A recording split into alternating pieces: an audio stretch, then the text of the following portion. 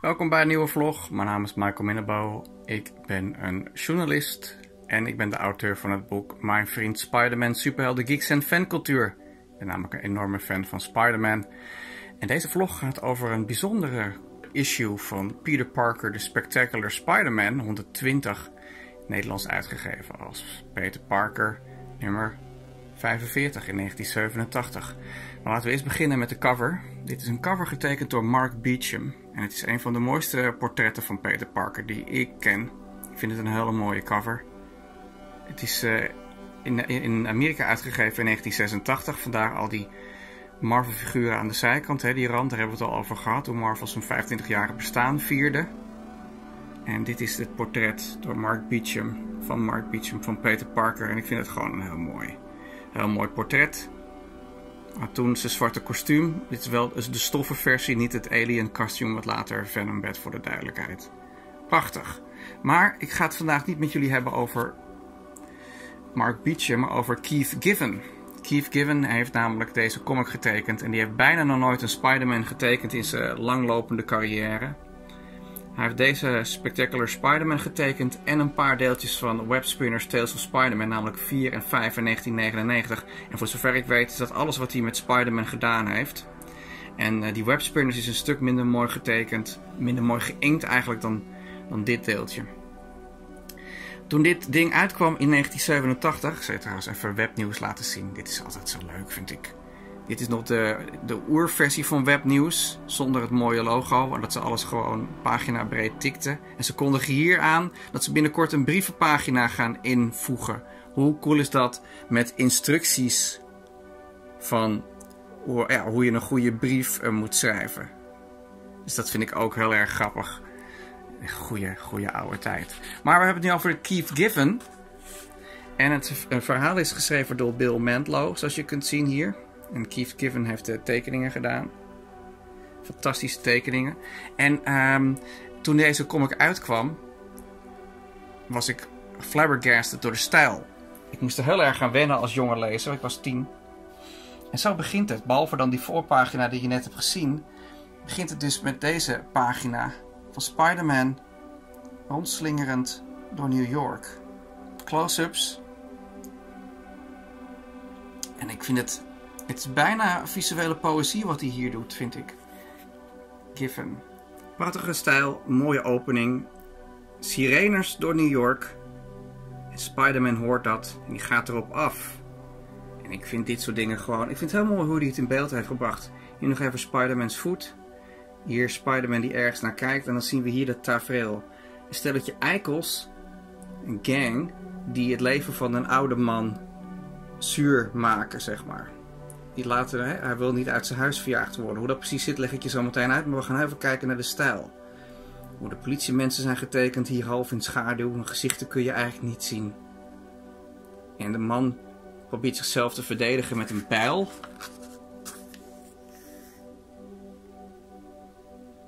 Dit was heel anders dan wat ik gewend was. Als je de Romita Senior stijl gewend bent. Ja, noem maar wat rond Friends bijvoorbeeld, of John Romita Jr. zelfs, was dit heel apart en expressief. En dit is een typisch Keith Given uh, plaatje, zo'n uh, close-up van een oog. Ook dit perspectief zo. Zie je, echt heel erg op de emotie van het beeld heeft hij het, daar focust hij zich op. En dan zo'n klein plaatje van Spider-Man's gezicht en dan dit. Van dit naar moordlustige maniak met een bijl. Zie je? Dat is, die overgang is heel belangrijk. En natuurlijk de typografie van de letters werkt ook heel erg mee. En dan hier, Spider-Man pakt dan dat, dat mes af, die hakbijl zeg maar. En close-up weer van Spider-Man's camera in zijn riem. Maar gewoon hoe die Spider-Man ook tekent, Kijk, ik vind het gewoon echt... Nu nog word ik heel erg enthousiast van deze comic. En ik zou hem heel graag eigenlijk in het zwart-wit willen hebben. Het is geïnkt door Vincent Corletta. Het stond niet uh, in de credits, maar dat is, uh, online staat dat. Dus hij heeft het niet zelf geïnkt. Keith Given, voor zover ik weet. En ook hier Spider-Man zegt wegwezen, maar dat kan niet. Want namelijk die eikels die wonen in dat pand. Wat is namelijk de story? Dat zal ik je even kort uitleggen. Want later gaat Peter met een uh, collega bij die man langs. Dit verhaal gaat over hoe huizen te duur worden en normale mensen eigenlijk de huur niet meer kunnen betalen. Door eh, speculanten bijvoorbeeld. die kopen panden op, zetten daarna grote flats neer voor rijke stinkers. Dus dit verhaal is, ook al is het meer dan 30 jaar oud, nog steeds actueel. Want geen enkel normaal mens kan bijna meer in Amsterdam een huis huren. Vrije sector reist de pan uit, maar zelfs wat sociale sector tegenwoordig genoemd wordt, zijn de huren behoorlijk hoog. Een huis kopen kun je al helemaal shaken, tenzij je een bank overvalt of een rijke papi hebt. En um, dat is natuurlijk, in, in New York was dat in de jaren 80 ook al zo. New York was in de jaren 70 echt een hellhole eigenlijk. Veel misdaad, uh, veel achterbuurten. En dat hebben ze opgeknapt. En ja, als dingen worden opgeknapt, dan worden ze meer geld waard. En dan uh, kunnen normale mensen er niet meer kopen of wonen. En dat is natuurlijk heel tragisch. En daar gaat dit verhaal eigenlijk over van Bill Mantlo. En Peter, die interviewt die man dan. En hij zegt, het begon een jaar geleden met een brief. De huiseigenaar wilde dit gebouw afbreken en een luxe flex voor in de plaats zetten. Maar omdat niemand wilde verhuizen, huurde hij een stelletje ja, tuig in om ons weg te jagen. En deze oude man is eigenlijk een van de laatste der Mohikanen. Ze worden geterroriseerd, die bewoners, door dat tuig ja, om ze weg te krijgen. Want je hebt natuurlijk wel een soort van huurrechten. Um, en die worden dan hier met de voeten getreden. Dus ik vond dat als kind heel erg indrukwekkend om zo'n verhaal te lezen. Met zo'n thema, zo'n sociaal uh, geëngageerd thema. Maar ook gewoon hoe het in beeld is gebracht door Keith Giffen. ik vind het echt, ja, ook dan hier, die hoofden alleen al. Ze worden, die, dat tuig wordt ook echt monsterlijk neergezet. En dan heb je hier die Spider-Man die in actie komt en de boel een beetje in de gaten houdt. Is zo'n die extreme close-ups van het masker hier. En hij wordt dan even weggelokt. Want er is een overval in een, in een nabij, naburig parkje. Echt alles in silhouet ook hier. Ik kan echt misschien wel drie vlogs zou kunnen maken over deze tekenaar. En ik hou, maar ik hou het even hierbij. Waar deed me namelijk ook deze stijl aan denken? Dit is een paar jaar voordat Todd McFarlane Spider-Man gaat tekenen. En het grote masker en de expressieve stijl, ook uh, hoe die Spider-Man tekent. Het is niet helemaal McFarlane, dat weet ik ook wel. Maar het lijkt er wel een beetje op. Het zou best kunnen dat Todd McFarlane deze comic in handen heeft gehad. Voordat hij zelf met Spider-Man aan de slag ging. Hoeft natuurlijk helemaal niet. Het kan ook toeval zijn. Maar McFarlane heeft ook wel de neiging om groteske koppen te tekenen. Om karikaturen te tekenen. Om dingen te overdrijven. En ook om Spider-Man's masker dus met hele grote witte ogen te tekenen. Dat zag je toen bijna eigenlijk niet. Dus ik zeg niet dat McFarlane het per se heeft gezien, maar het zou heel goed kunnen. Maar zometeen gaan we nog hebben over de inspiratiebron van Keith Given. Maar ik wil je even verder laten zien hoe dit verhaal verder gaat. Die oude man is dus geduwd door die eikels. En Spider-Man slaat dan door, want ze willen de boel in de fik steken. En die maakt nu jacht op het tuig wat de boel geterroriseerd heeft. En dat zien we dus in deze panels gebeuren. Weer heel veel close-ups van ogen, zie je. Alsof we in de schedel, in de gedachten moeten zitten van het personage. Alsof we heel dik, dicht op de huid zitten van de personages. En nou begint het vuurwerk, letterlijk en figuurlijk. En dan gooit hij zo'n brandbom, of een molotov cocktail heet dat geloof ik. En dan worden we getrakteerd op dit soort visuals. Ik vind het heel mooi hoe de, hoe de lichtwerking is. Eh, de ontploffing van het licht en de schaduwwerking op Spider-Man's pak. Dit is echt... Hier kan ik dus heel erg van genieten. Nou, de mensen worden, die gaan naar buiten en Spider-Man maakt jacht op die eikel. Kijk, ook weer heel mooi. Die, dat Spider-Man helemaal in de schaduw verdwijnt en we zien alleen maar zijn ogen. En dan huppakee, klap voor zijn kanus. En dat hoort ook zo, want je haat die gasten echt als je dit leest. Dus het is bijna, het is heel uh, onderhuids wordt het getekend. Het is bijna ja, op een abstract niveau. De hele chaos wordt goed, goed weergegeven. De rookwolken hier al. Uh, een verdraaid perspectief. Wat allemaal de emotie van het verhaal versterkt. Dit vind ik dan ook heel mooi. Hoe Spider-Man op de rug getekend is. En dat komt uiteindelijk tot een climax. Hey, dit, is ook, dit is ook wel een mooi dit detail. Dit is het huis van die oude man. En de foto, een, portret van zijn vrouw. Een foto van zijn vrouw. Die, is dus, die heeft het allemaal niet overleefd al. Alle spanningen.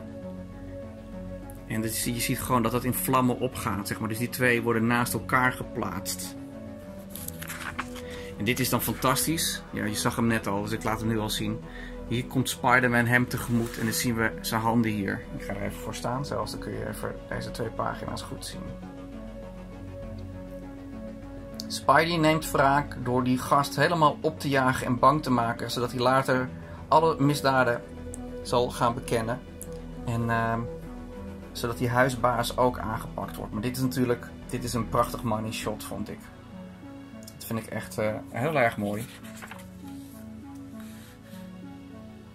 En hier begint Spider-Man op me in te praten. Sta op, ik ben bang, mooi. Nu weet je hoe je slachtoffer zich voelde.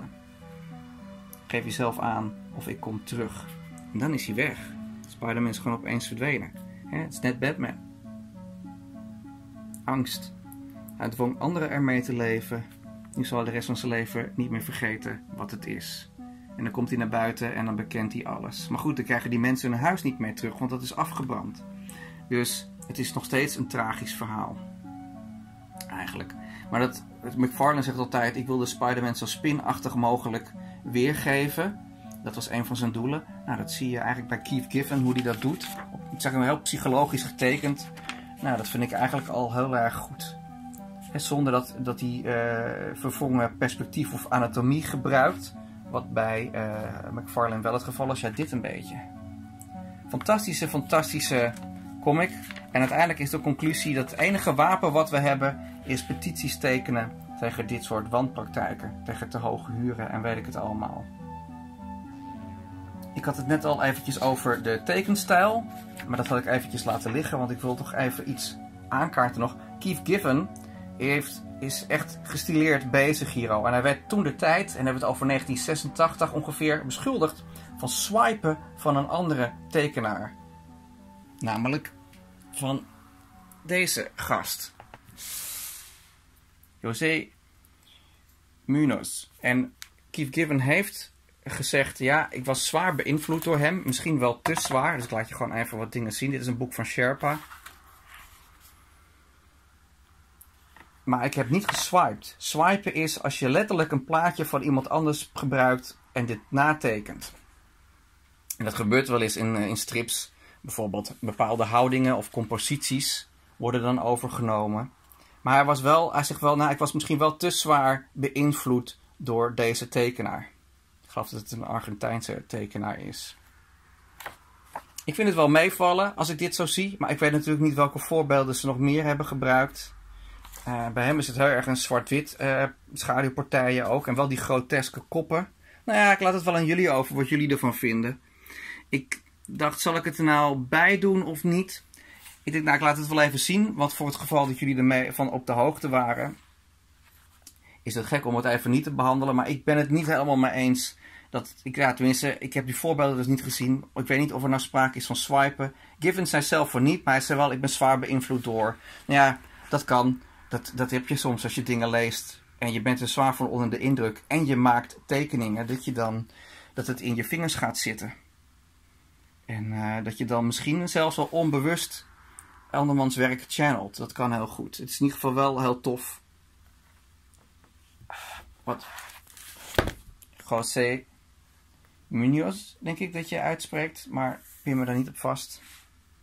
Tekent. Maar dat wist ik allemaal niet toen ik deze Spectacular Spider-Man tot me nam als kind. En ik vond het een hele toffe stijl. Ik vind het eigenlijk jammer dat Keith Given toen niet meer Spider-Man heeft getekend. Want um, als kind moest ik er erg aan wennen. Maar dat is vaak zo. Soms moet je wennen aan een stijl. Omdat het anders is. En later vind je dat gewoon heel tof. It grows on you, as they say. Peter Parker, The Spectacular Spider-Man. 120. Uit 1986 in het Nederlands uitgegeven in 1987. Anyway, Ik ben benieuwd wat jullie hiervan vonden, van deze vlog, of je het leuk vond. En uh, wat jij vindt van het werk van Keith Giffen. Misschien ben je er wel bekend mee en heb je heel veel van zijn DC-werk uh, ooit gelezen. Dat kan, want hij heeft ook heel veel voor DC Comics gewerkt. En uh, misschien ken je ook wel Alex Sinner. Ik ben allemaal benieuwd naar jullie reacties. Dankjewel voor het kijken. En ik zou zeggen op naar de volgende vlog.